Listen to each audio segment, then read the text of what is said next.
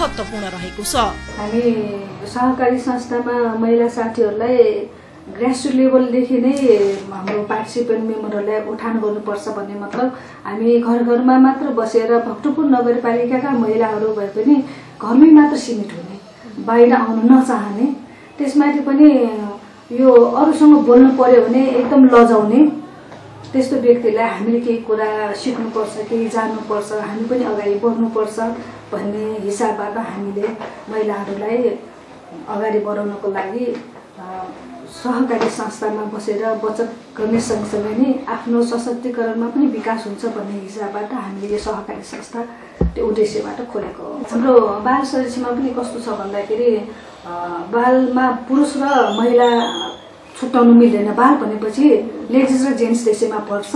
जब ऊ सोह्र वर्ष भइसकेपछि पुरुषलाई चाहिँ हामीले खाता बन्द गरी सबै पैसा वापस पठाउँछौँ तर लेडिज भइसकेपछि सदस्य वृद्धिको पनि एउटा पाटो जस्तो लाग्यो हामीले। अनि सोह्र वर्षपछि सदस्य वृद्धिमा लेडिजलाई परिणत गराउँछौँ जेन्ट्सलाई चाहिँ हामी पैसा वापस पठाउँछौँ। सदस्यले पाउने सुविधा भन्दा साथै व्यावसायिक हिसाबको कुरा गर्नु पर्दाखेरि त हामी सदस्यलाई सुविधा चाहिँ दिएको छ नै भन्नुपर्छ। किन भन्दाखेरि जुन उहाँहरूले गरेको क्रियाकलापमा राम्रो भएको व्यवसायीकरणको साथीहरूलाई हामीले उहाँहरूको व्यापार अनुसारमा हेर्न जाँदाखेरि सबै क्रियाकलाप टाइममा तिर्ने टाइममा असुली गर्ने भएको हुनाले यतिसम्म हामीले गरेछौँ कि अहिलेको दौरानमा युवा स्वरोजगारबाट लिनुभएको दस पर्सेन्टको ब्याजबाट पनि हामीले लगभग तेह्र चौधजनालाई लोन फलो पनि गरेका छौँ व्यावसायिक रूपबाट राम्रो गर्ने मान्छेहरूलाई जस्तै कुखुरा पालन गर्नेहरू छ हामी कहाँ च्याउ खेती गर्ने साथीहरू छ त्यसै गरी पोस्टकारी बनाउने ढाका टोपी बनाउने अमिलो बनाउने त्यसरी कस्मेटिक पसल राख्ने साथीहरू त्यसै गरी मेनबत्ती तालिम बनाउने। त्यसो हामी कहाँ अहिले व्यवस्थित तरिकाबाट काम गर्ने त नौ दसजना त व्यवसायीकरण अझ पनि हामी कहाँ सहकारीमा छ। यस नारी सेवा बचत तथा ऋण सहकारी संस्था लिमिटेडको सोह्रौं वार्षिक साधारण सभा दुई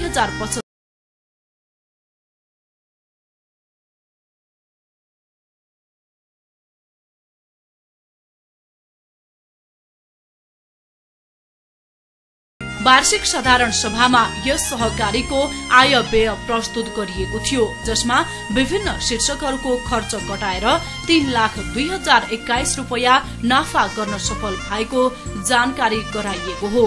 आर्थिक वर्ष दुई हजार चौहत्तर पचहत्तर असार मसन्तको नियमित रु एक करोड एकाउन्न लाख अडतिस हजार दुई सय सतासी रुपियाँ उनाचास पैसा रहेको छ। ऐच्छिक बचत अडसठी लाख बत्तिस हजार अडसठी लाख बत्तिस हजार नौ सय बाह्र रुपियाँ तिन पैसा आवधिक बचतमा रु चौरानब्बे लाख पचपन्न हजार नौ सय सोह्र रुपियाँ सतासी पैसा स्वास्थ्य बिमामा एघार हजार आठ सय नब्बे रुपियाँ छत्तिस पैसा र र बाल बचतमा चालिस लाख एकहत्तर हजार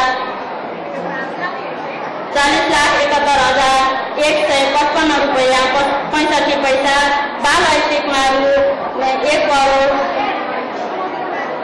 एक लाख बाइस हजार आठ सय त्रिसठी रुपियाँ बयालिस पैसा र अनिवार्य बचतमा एक लाख अन्ठाउन्न हजार सात सय एघार रुपियाँ सत्ताइस पैसा जम्मा गरी तिन करोड सन्ताउन्न लाख एकानब्बे हजार सात सय सैँतिस रुपियाँ नौ पैसा रहेको छ ऋण लगानी ऋण लगानी आर्थिक वर्ष दुई हजार त्रिहत्तर चौहत्तरमा ऋण लगानी तिन करोड तेइस लाख बत्तिस हजार छ सय उनाचास रुपियाँ भएको थियो भने यसै गरी ऋण असुली आर्थिक वर्ष दुई हजार त्रिहत्तर चौहत्तरमा रु दुई करोड चौरासी लाख सत्ताइस हजार एक सय पन्चानब्बे भएको थियो भने आर्थिक वर्ष दुई हजार चौहत्तर पचहत्तरमा ऋण लगानी चार करोड आठ लाख दुई हजार चार सय उन्तिस रुपियाँ भएको छ। यसै गरी ऋण वसुली तिन करोड छब्बिस लाख उन्तिस हजार दुई सय नब्बे रुपियाँ भएको छ। यस सहकारी संस्थाको शेयर पुँजी हाल चौहत्तर लाख तेह्र हजार सात सय पुगेको छ। माननीय संघीय सांसद घनश्याम खतिवड़ा प्रमुख अतिथि रहनु भएको साधारण सभामा यस सहकारी संस्थाका पदाधिकारीहरूले संस्थाका आगामी दिनहरूमा यस सहकारी संस्थालाई झन बलियो र दिगो समुदायमा आधारित सहकारी संस्थाको रूपमा स्थापित गर्ने प्रतिबद्धता व्यक्त गर्नु भएको थियो। कार्यक्रममा अन्य वक्ताहरूले यस सहकारी संस्थाको उत्तरोत्तर प्रगतिको कामना गरेका थिए। यहाँहरूले साधारण सभामा बोलाएर शुभकामनाका शब्दहरू राख्ने जुन अवसर दिनुभयो। त्यसको लागि म संस्थाको अध्यक्षज्यू लगायत संस्था परिवारलाई हार्दिक धन्यवाद दिन चाहन्छु। आभार व्यक्त गर्दछु र यो साधारण सभाको पूर्ण सफलताको कामना गर्दछु। महिलाहरूलाई सशक्तिकरण गर्ने माध्यम प्रभावकारी माध्यम सहकारी एउटा उदाहरणीय रूपमा बनेको अवस्था छ। अडचालिस सालपछिको खास गरेर सहकारी अडचालिस पछिको अभ्यासमा महिलाहरूलाई सशक्तिकरण सहकारी मार्फत गाउँदेखि दूर दराजका सहरदेखि दूर दराजका गाउँसम्म महिलाहरूलाई चाहिँ प्रभावकारी माध्यमले बनाइरहेको छ। म जहिले पनि भन्ने गर्छु खास विविध विषयहरू हुन्छन् तर यसले दुईटा कुरा महिलाहरूलाई चौकोमा बसेर रहनुभएका महिलाहरूलाई घर बाहिर ल्याएर यसले सहकारीमा महिला नेतृत्व नेतृत्वको विकास गरेको छ। जो मैले धेरै राम्रो समयदेखि देखिरहेको छु त्यो उदाहरण तपाईँको संस्था पनि छ। त्यो कार्यक्रममा धेरै व्यक्तित्वहरू पुरस्कृत हुनुभएको छ।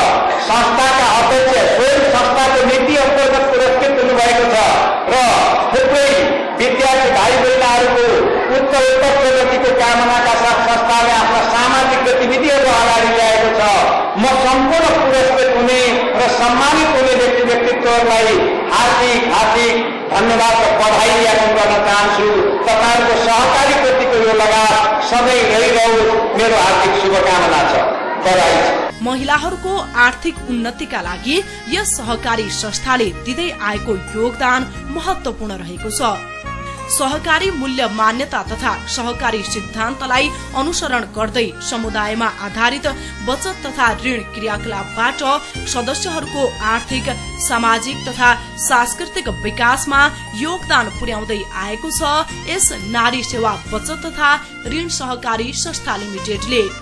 चुल्हो चौकामा मात्र सीमित महिलाहरू अहिले सहकारीको माध्यमबाट निकै अगाडि बढ्ने अवसर प्राप्त गरेका छन्। महिलाहरूको क्षमता अभिवृद्धि गरी विभिन्न क्षेत्रमा महिलाहरूलाई सक्षम बनाउने यो सहकारी संस्था एउटा उदाहरणीय महिला सहकारी हो। श्रमजीवी महिलाहरूले आफ्नो समयको सदुपयोगका लागि नयाँ व्यापार व्यवसाय शुरू गर्न चाहेका छन् भने यस नारी बचत तथा ऋण सहकारी संस्थाले सल्लाह सुझाव सहित ऋण सहयोग मार्फत प्रत्यक्ष सहयोग गर्दै आइरहेको छ। हामीले यो नारी सेवा सहकारी संस्थाको खोल्नुको उद्देश्य नै हामी महिलाहरूको लागि जुन विपद विपन्न वर्गको महिलाहरू यहाँनिर घर घरैसे काममा लागिराख्नु लागिराखिराख्नुभएका बहिनी दिदीबहिनीहरूको लागि चाहिँ हामीले उहाँहरूलाई सजिलो गरेर अलिअलि बचत गर्न सिकाए होइन?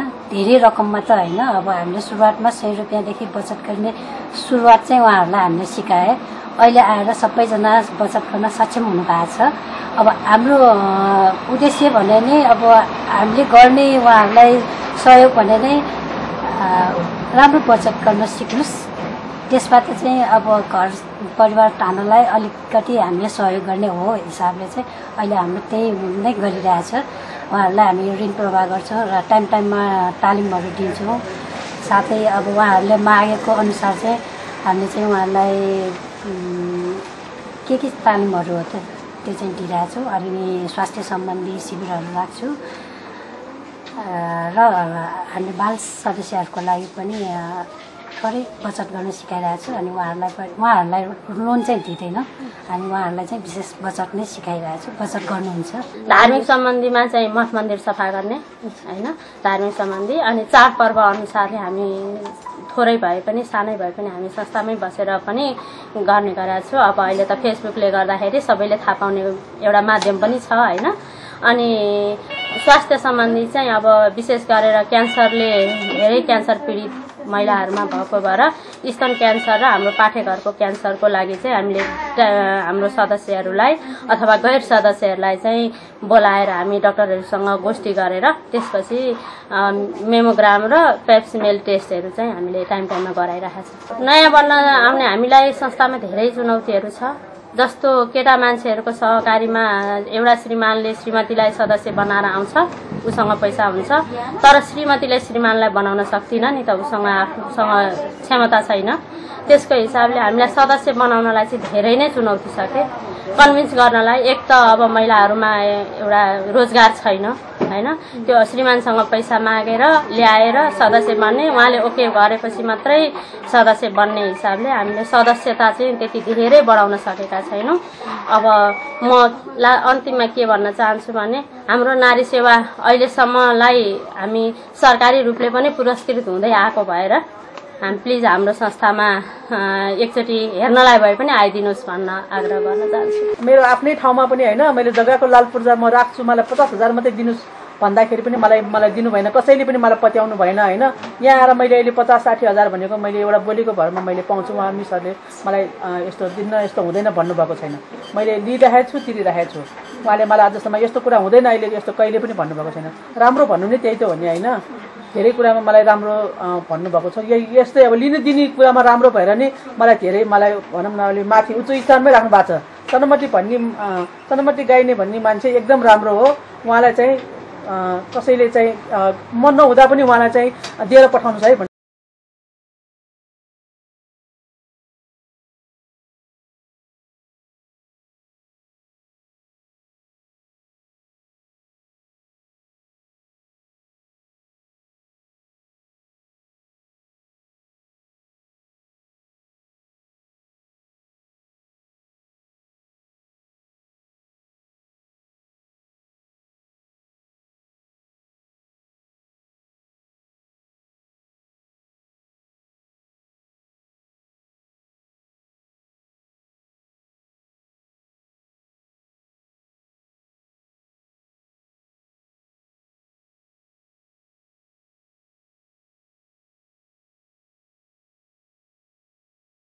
उत्कृष्ट थप बनाउनको लागि पहिलो नम्बर कुरा चाहिँ नि टिम राम्रो हुनु पर्यो हाम्रो कार्य समिति बोर्ड अफ डाइरेक्टर साथीहरू सबै टिम राम्रो हुनु पर्यो हामीले प्रतिस्पर्धाको रूपमा अरूको सहकारी राम्रो सहकारी पनि हेर्नु पर्यो हामीलाई सहयोग गर्ने सम्बन्धित सहरहरूसँग पनि एक आपसमा हाटेमालो गरी अगाडि बढ्नु पर्यो अनि हामी नीतिलाई अप्नाउने कुरा गर्दाखेरि संस्था बलियो गर्ने भनेको नीतिले बलियो गर्ने हो व्यक्तिले बलियो गर्ने होइन। नीति टाइट छ नीति बलियो छ भने संस्थागत रूपमा अगाडि बढाउन पनि सकिन्छ। हामी भविष्यको योजनाको लागि पनि विभिन्न सङ्घ संस्थाबाट जस्तै अब कैलाश भक्त बडानाङ भन्ने व्यक्ति त तपाईँले पनि चिन्नुहुन्छ होला। सहकारीका अभियानकर्तामा पिता भनेर पनि चिनिन्छ। त्यसै गरी सहकारी विकास बोर्डका शिव घिमिरे सर हुनुहुन्छ निर्देशक। त्यसै गरी नेप्सकोनका उपाध्यक्ष मिनराज गरे सर हुनुहुन्छ। त्यसै गरी हाम्रो सहकारी विभागका विष्णु रजिस्ट्रार उप रजिस्ट्रार विष्णु प्रसाद घिमिरे सर हुनुहुन्छ। त्यसै गरी सहकारी प्रशिक्षण केन्द्रका भरत प्रसाद आचार्य प्राचार्य सर हुनुहुन्छ। उहाँहरूले हाम्रो संस्थालाई पनि अलिकति निगरानीमा राख्नु भएको छ। अनि हामीले पनि यो राष्ट्रिय सहकारी सङ्घबाट डिभिजन सहकारी कार्यालयबाट अस्ति राष्ट्रिय सहकारी प्रशिक्षण केन्द्रबाट पनि हामीले पचहत्तरै जिल्लाको ट्रेनिङमा जाँदाखेरि उत्कृष्ट सहकारी भनेर नारी सेवाको रूपमा हामीले पुरस्कृत पनि पाइसकेको छु।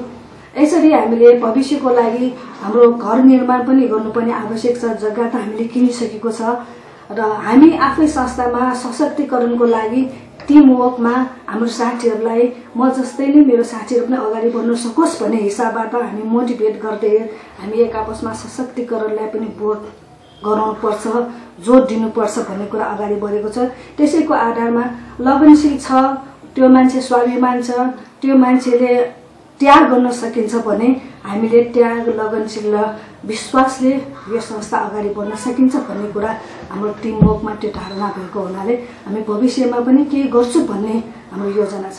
आफ्ना सदस्यहरूको व्यक्तिगत क्षमता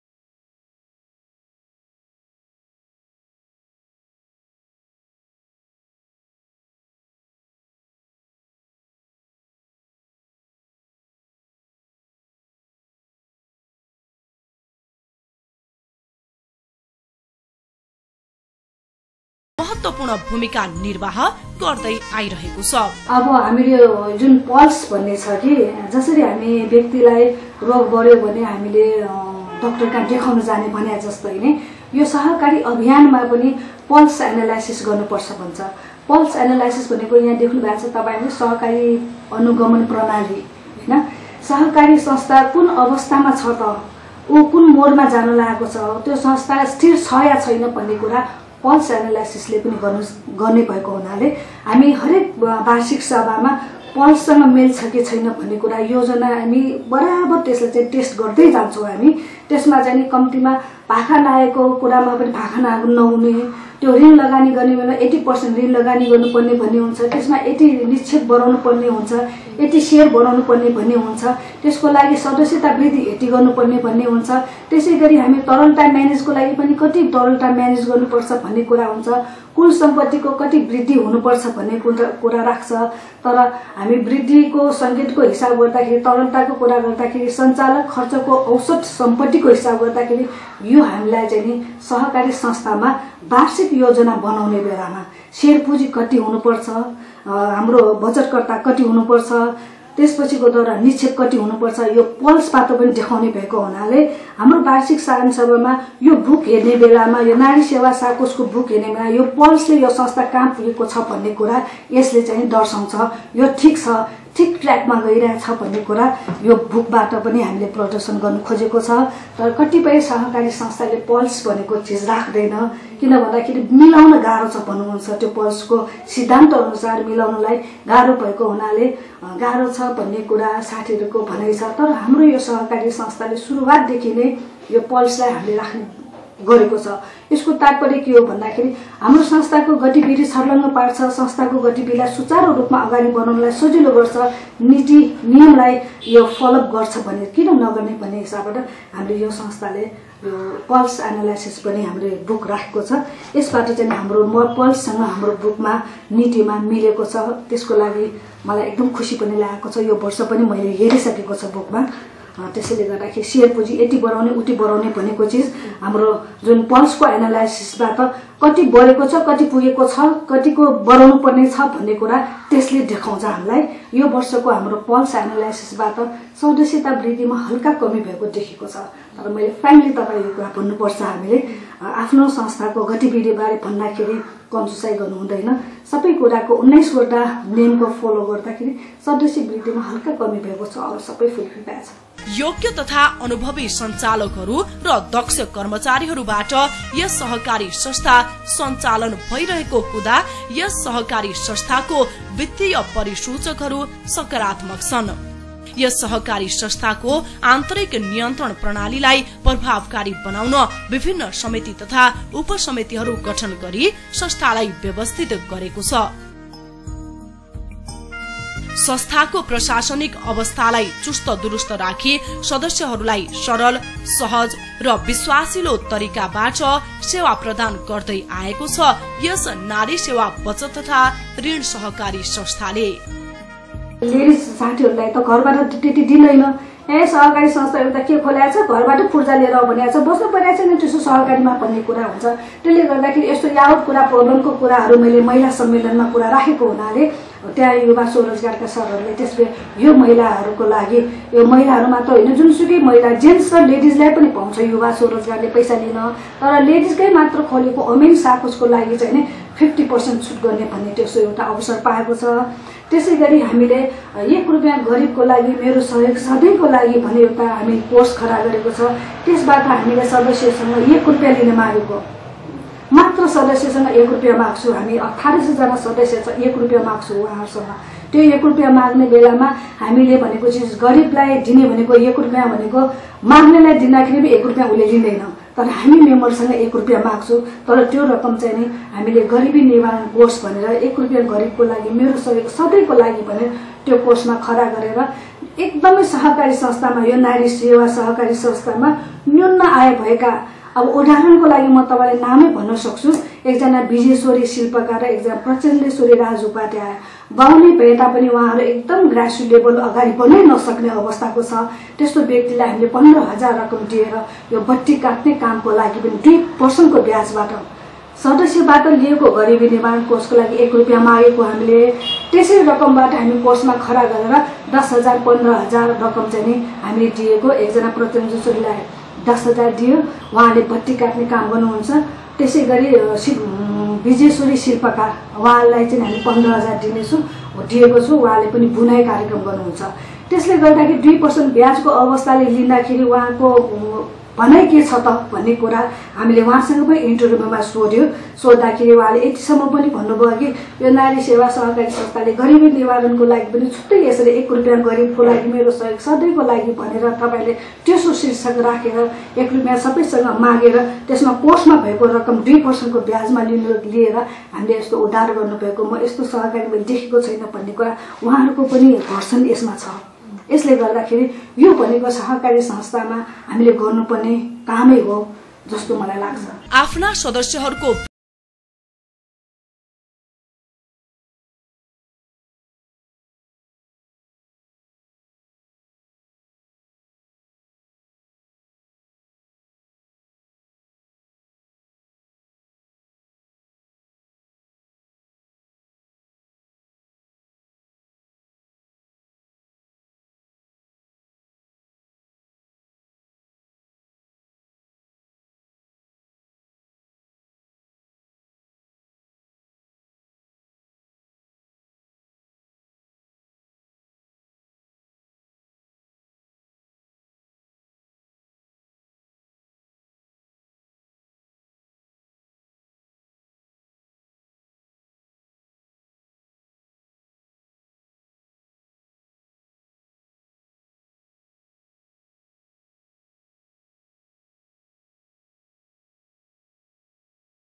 गर्दाखेरि पनि सानो तिनो भुलचुक त हुन्छ नै।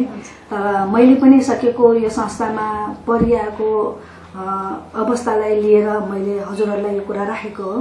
तर एक हाम्रो यो सहकारीमा यस्तो पनि अस्ति केस भयो कि जुन सदस्य हामीले मृत्यु कोर्स भनेर हामीले खडा गर्छु भनेर एउटा केस आई मिन हाम्रो नीतिमा राखेको थियो। मृत्यु भएको मान्छेलाई घरमा गएर पाँच हजार पैसा दिने भनेर हामीले नियम राखेको छौँ। त्यस नियमलाई मैले यहाँको अवस्था सदस्यहरूको दुखाइ सदस्यहरूको पीडा यहाँ पोख्न आएपछि मैले त्यो कोर्सलाई नै खारिज गरेँ। कारण के हो भन्दाखेरि हामीले त्यो सदस्य बितिसकेपछि उसको घरमा पाँच हजार पैसा दिन जाने भनेपछि जिउँदो नै यसो छोराछोरीहरूले आफ्नो आमा बाउलाई नहेरिकन सम्पत्ति खायो भने यो मृत्यु भइसकेपछि पाँच हजार उसको छोरालाई किन दिन जानुपर्ने? यो मिल्दैन यो कुरा। यो त मलाई जहाँसम्म लाग्छ मनासिब छैन भने हामी यस्तो कुरा यावट कुरा पनि काट्थ्यौँ त्यसैले सहकारी संस्थामा बस्ने मान्छेहरूले सहकारीमा बस्दाखेरि कतिको समस्या आउँछ सहकारीमा बस्दाखेरि कर्मचारीहरूले गडबड गऱ्यो भने सिङ्गो सहकारीलाई कति नराम्रो असर पर्छ भन्ने कुरा यावट कुराहरू हामी बार बार ट्रेन गरिराख्नुपर्छ भन्ने कुरा म भन्छु। त्यसैले सदस्यहरूसँग पनि हामी परिवार जस्तै बस्नुपर्छ। हामी यो सहकारी संस्थामा बस्ने साथीहरूले एउटा आफ्नो भाउ खोज्ने होइन कि यो ठाउँमा हामी भनेर जानुपर्छ। हामीले के गर्दाखेरि अरूकोबाट हामी पनि राम्रो गर्न सकिन्छ प्रतिस्पर्धामा गर्नुपर्छ। सहकारी खोल्नु ठुलो कुरा होइन त्यसलाई राम्रो गर्नुपर्छ भन्ने कुरा सिङ्गो सहकारी अभियानका बचतकर्ताहरूले पनि थाहा पाउनुपर्छ। आफ्नो सदस्यले पनि आफ्नो सहकारीको नाम लिनु सक्नुपर्छ भन्ने कुरा हामीले राखेको छ। त्यसले गर्दाखेरि प्रायः जसो हाम्रो सहकारीको साथीहरू हाम्रो नारी सेवाको नाम कण्ठ छ। यस सहकारी संस्थाका पदाधिकारीहरूको प्रत्यक्ष निर्देशन तथा रेखदेख कर्मचारीहरूको क्षमता कर्मठता अनि परिसरमा सञ्चालक समितिको दूरदृष्टि र असल व्यवस्थापन शेयर धनी सदस्यहरूको निरन्तर माया सद्भाव सहयोग र विश्वासले यस सहकारी संस्था प्रगति पथमा अगाडि बढ़िरहेको छ। अन्य धेरै सहकारीहरूको माझमा यस नारी सेवा बचत तथा ऋण सहकारी संस्था लिमिटेडले अलग पहिचान कायम गर्न सफल भएको छ आगामी दिनमा आफ्नो उद्देश्य र लक्ष्यमा सफलता हासिल गर्दै अगाडि बढोस् यस नारी सेवा बचत तथा ऋण सहकारी संस्था लिमिटेड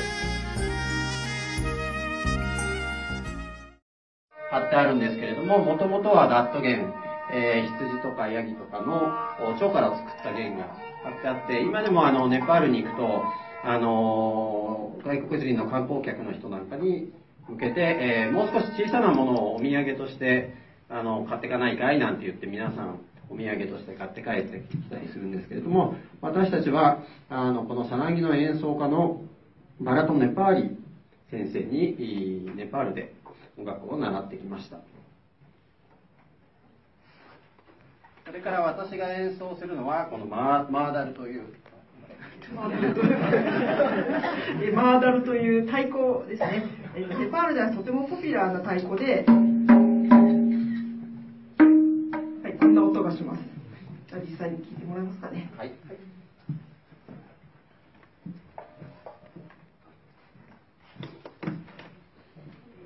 最初にあの今日の母のさんたちがいらっしゃる、えー、バあの母さんたちがいらっしゃるバクタプールというあの素敵なあのネパネパールの町があるんですけども、えー、そこのあの民謡の、えー、シルサヤヘクという曲を弾きたいと思います。